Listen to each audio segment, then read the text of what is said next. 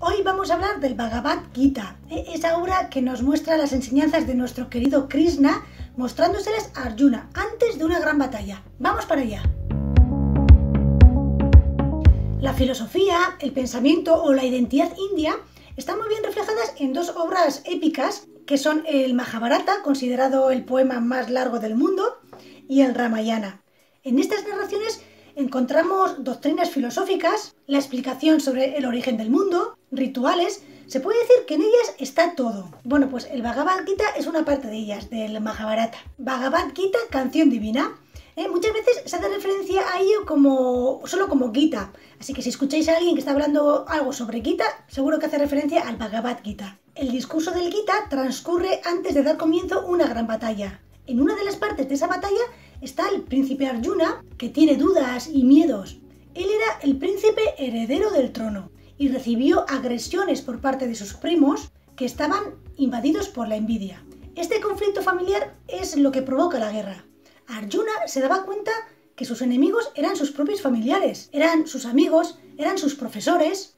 Así que antes de la batalla se dirige a Krishna para pedirle consejo. Y es en este escenario donde se narra el Bhagavad Gita. Vemos aquí un dilema moral y Arjuna está confundido. Es cuando Krishna le habla a Arjuna sobre sus obligaciones, su deber como, como guerrero y príncipe.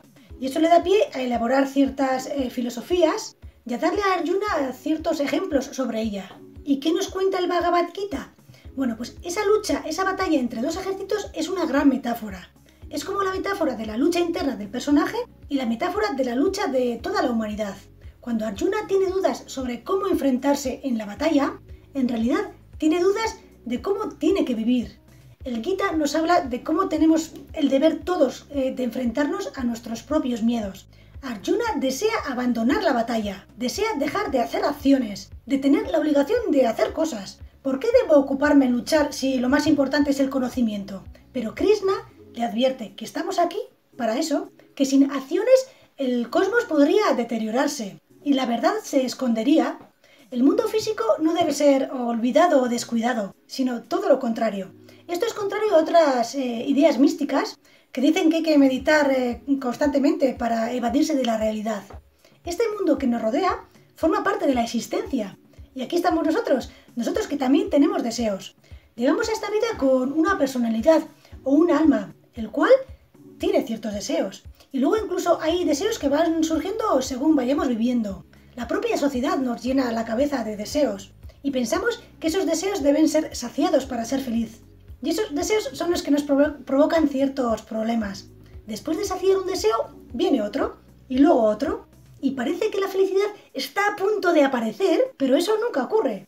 El Bhagavad Gita nos eh, enseña que debemos aprender a distanciarnos de esos deseos, como si los fuéramos, eh, como si los viéramos fuera de nosotros, y no, debemos eh, dejarnos arrastrar por ellos.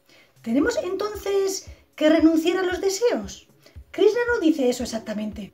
Es como si yo misma vigilara mis propios deseos, como si los viera desde fuera, como si fuera una conciencia fuera de mí que observara esos deseos que yo tengo. Muchas veces si haces eso, seguro que te producen muchos deseos, algún tipo de, de, gracia, ¿no? Viéndolos desde fuera. Y Krishna dice que mediante la meditación, el yoga eh, u otras eh, prácticas, el hombre puede llegar a saber que él no es su mente, él no son sus deseos, él es algo más. Krishna le ofrece a Arjuna una enseñanza sobre cuál es la naturaleza de la realidad, qué es el mundo y cómo hay que comportarse en él, cuál es la naturaleza del alma y su relación con lo divino, cuáles son los diferentes niveles, niveles de la conciencia y de la realidad. Es por esto que el Bhagavad Gita se describe a menudo como una guía concisa de la filosofía hindú. Es como una guía práctica de la propia vida. Sin duda, uno de los textos más importantes de la literatura hindú y una de las escrituras espirituales que se recomienda a todos eh, conocer. Al igual que otras filosofías, el Bhagavad Gita nos habla de quiénes somos, de dónde venimos, a dónde vamos.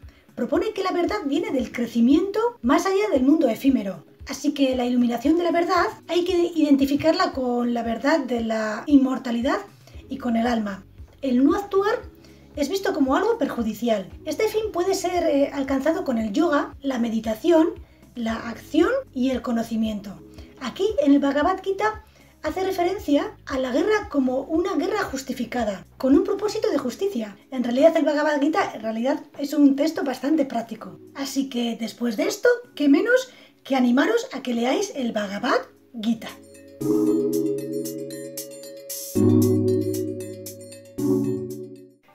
Es mejor vivir tu propio destino de manera imperfecta que vivir una imitación perfecta de la vida de otro. Palabras del Bhagavad Gita.